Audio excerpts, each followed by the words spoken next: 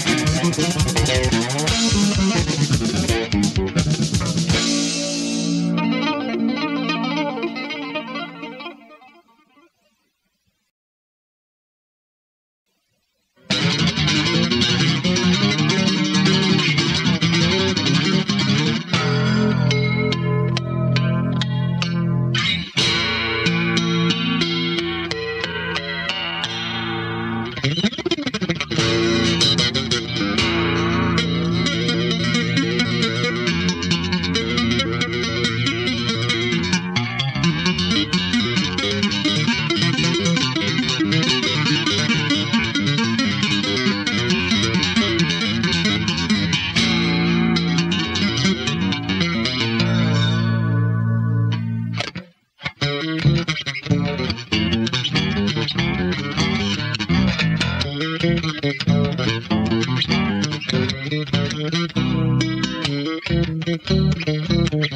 you.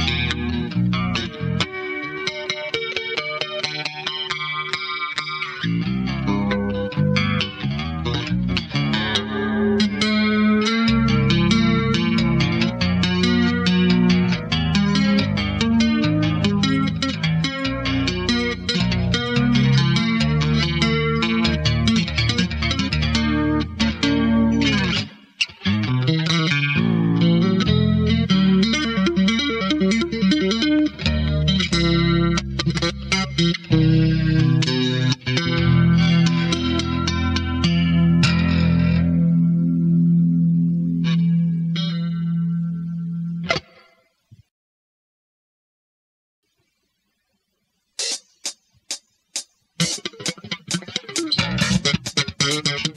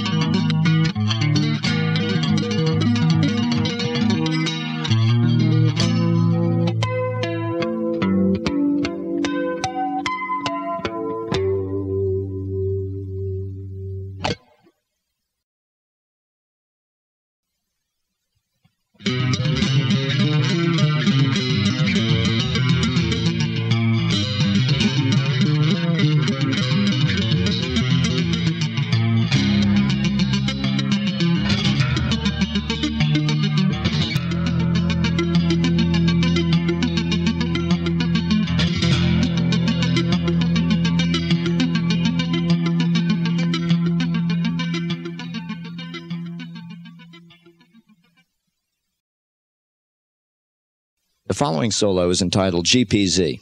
This is the one that got me featured in the spotlight column in Guitar Player. And you'll notice that it's a real, real crude recording. The reason for this is, well, to begin with, the way I recorded it was from like a, a very small guitar practice amp, which sounds really small to begin with, put literally in front of a ghetto blaster, a cheap one at that, uh, that just had built-in condenser mics. And that's actually the way I recorded it. On top of that, this is about a fifth or sixth generation tape. So you'll notice that it sounds pretty raunchy. Okay, I thought for several years about submitting a solo to Mike Varney, and I just kind of brushed it off, thinking that a I probably wasn't good enough, and probably a little bit of laziness on on my part also. And I was sitting around in the back of a band house one day in Columbus, Georgia. I think we were just playing the top 40 rock circuit and decided to go ahead and write a solo and record it. Okay, the reason I'm telling you this is because I want to give encouragement to anybody that's even thinking about doing the same thing I did. And don't let the fact that you probably don't have enough money to go into a nice studio and record it stop you. Remember that the emphasis is really on what you're playing. Just make sure that whatever you play can be heard and not, not so much on the production or the quality of the recording itself. Here it is.